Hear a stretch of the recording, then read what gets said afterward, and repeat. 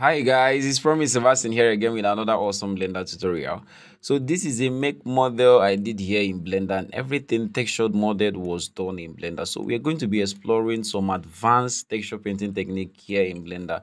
Okay, so without further ado, let's get started. Let me start by getting a new project. So I'll head over on the file here, left on new hover my mouse on new and then general left click on general now so i'll get a new cube here so what you want to do first is to move over to the texture painting workspace. So I'll just click on the texture painting workspace and here we'll have a new workspace. We'll have our cube here and then we'll have where uh, uh, that's here is where our image displays displays what we are painting displays as a flat image here. So you have the brush settings here. So let me just start by adding the texture slot. So you can see where the road texture slot. Sorry, this is Blender 4.0. If you're using an older version, this texture slot it usually used to be by my right here. So here that's where it is now in 4.0 okay so now i'm going to click on the texture slot to use uh, the plus icon add a texture slot like uh, whatever it is you want to paint. So you have base color roughness metallic and all these maps. So i want to paint base color at first. So let me just click on base color and then we can change anything we want to change. That's this is the resolution of the texture you want to paint.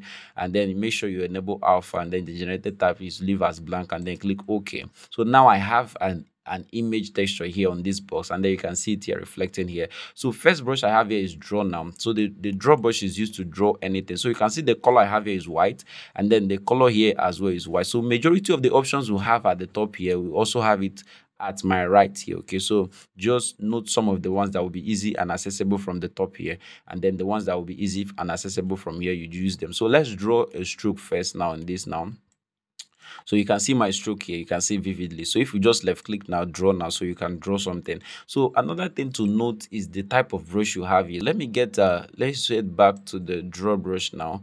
And then let's make this draw brush hard. So you're going to be seeing the effect very well. So we are using a hard fall off. So what this fall off does now is if, if it's a curved uh, graph here we have here, we are going to be have, having blurred or soft edges. But if we make it um, a squared graph here like this now, so we are going to have um, sharp edges that's what this fall off does and that's why you would want to be changing from them from square to curved okay so now let's draw let's get a sharp this thing now a sharp uh, stroke so i'm going to draw a sharp stroke so can you see it now the stroke is very sharp now so you can see the effect of what I'm talking before. Now soften now. So you can see this soften softens the edges of this brush. And then the smear here, try to smear in color to another one. So can you see that's how it works? And then clone, clones the color from there to this one. So can you see how it works?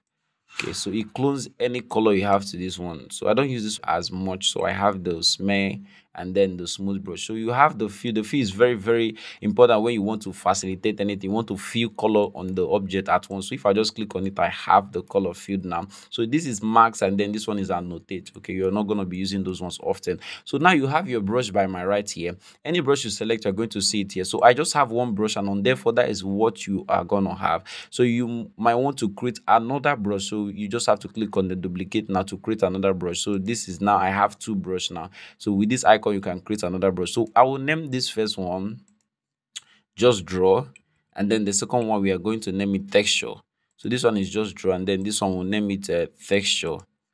So we'll name this one texture. So this one will be our texture. So that is it now. So let's move back to the draw brush now. So now by my right, you have a lot of interesting options here. So now you have the color. Now so another thing you want to recheck is your color palette. So the color palette is you know what color palette is is where you pack the colors you are using. So this is what i'm using now. So i'll just click on new now and then i've added a palette. So i'll click on the plus icon to add this color i've selected. So should in case i drag out or drag around the wheel and get any perfect color I want to use.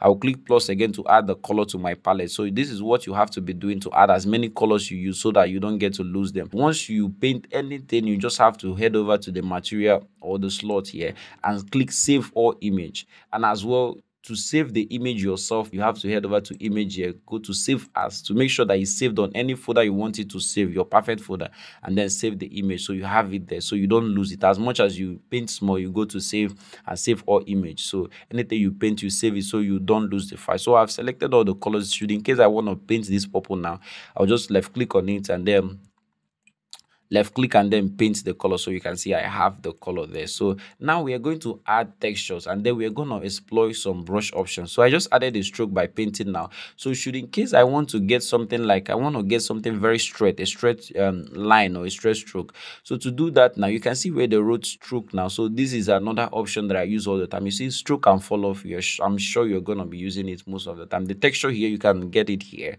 So now let's try the stroke now. So I have space here. So I will switch from this space to line. So what this line does, it gives you a straight line to give you that um, leverage to get a very straight stroke. So now I've gotten the dotted line. So once I release my mouse, it's going to give me place a color with the size of my brush on wherever it is I draw. So let's just say I want a straight line. I'll just left click and draw and then I've gotten the stroke. So another one I use is the anchor version of the stroke. You have anchor here. So once you select the anchor what it does it stops at the center and then expands from there. So can you see that's how the anchor works?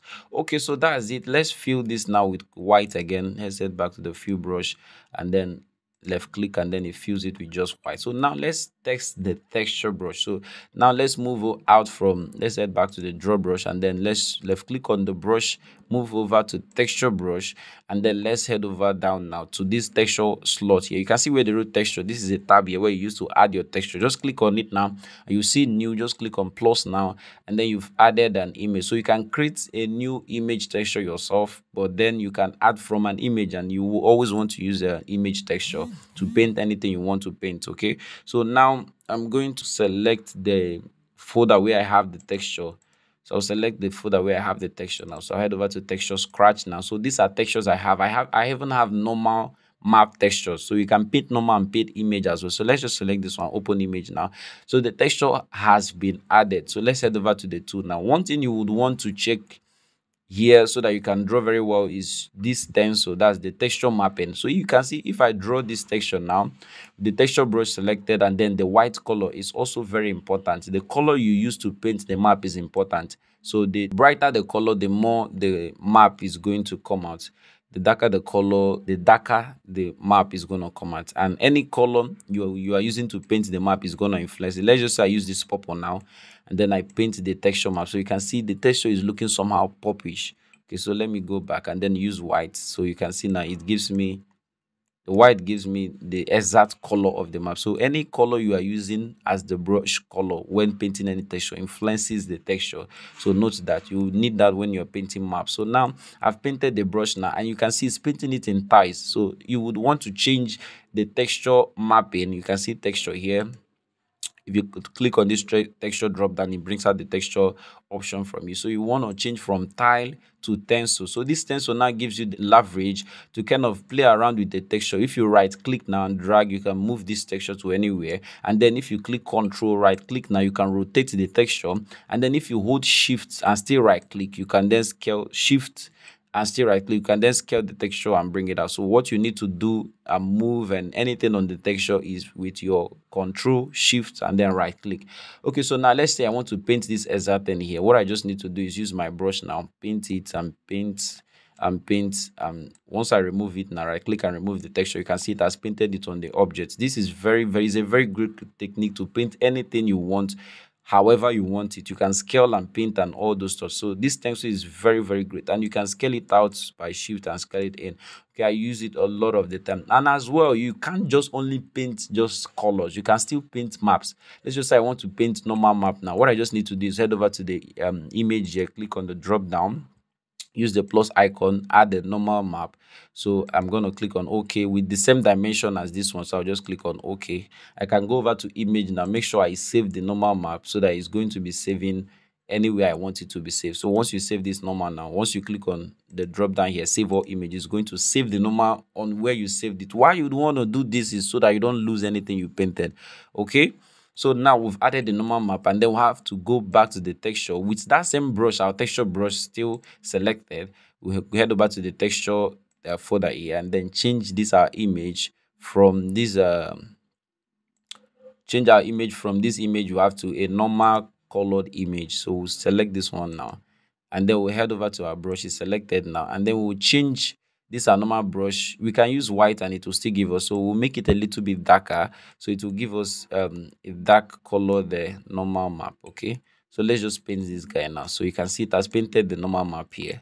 So that is how it works. So you can paint normal maps and then once you are painting normal maps it's best to use purple color instead of white because most times use purple and it gives me close to what I'm looking for. So let's just use the left click on the color tab and then use the color picker. Pick this color now and then click on the plus that's on the color palette on the plus to add another color palette. So it has added this color palette i have this color i have it has added it as a palette. So i've selected it and then i'm gonna scale hold shift right click scale this texture and then paint it here. So you can see it has painted the texture and it looks exactly like what i have. So you would always want to use the when it comes to painting normals and then roughs colors that are similar to them. And white as well like i said like it gives you close to everything you need because it's white is a universal color.